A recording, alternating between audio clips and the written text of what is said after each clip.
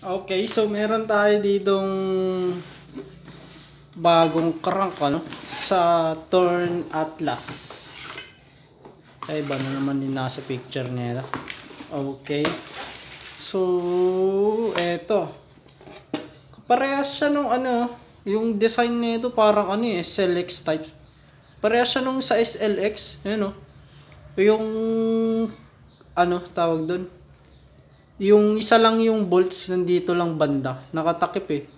Dito wala. Kaya malinis tignan. Ayan oh.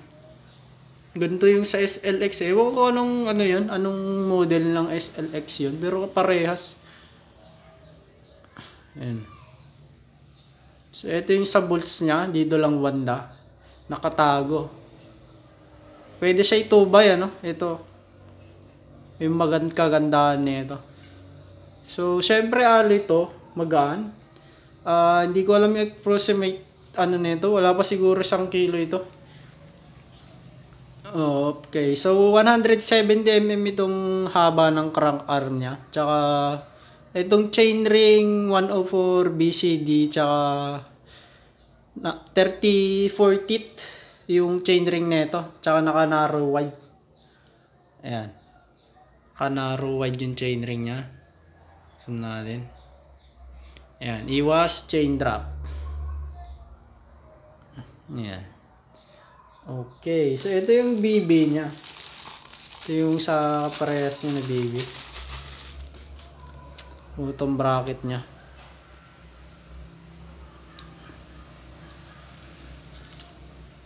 Wala na naman nakalagay kung ilang haba ba nito.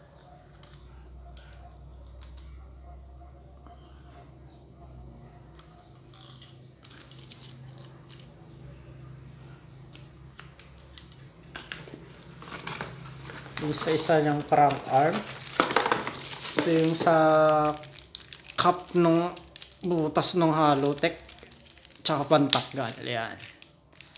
Plastic lang.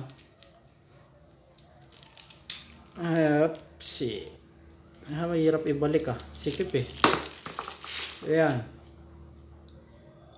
170 mm. Sa Torn Atlas. So, meron pa ba? Uh, so, yun. Yun yung laman nito. Ito yung pinakalaman. Yan.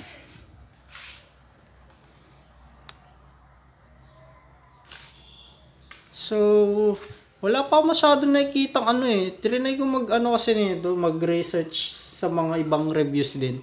Wala masyadong pang nakakaano nito. Ewan mo, bagong labas ba ito? Kasi wala pa masyadong nakakagawa ng reviews nito.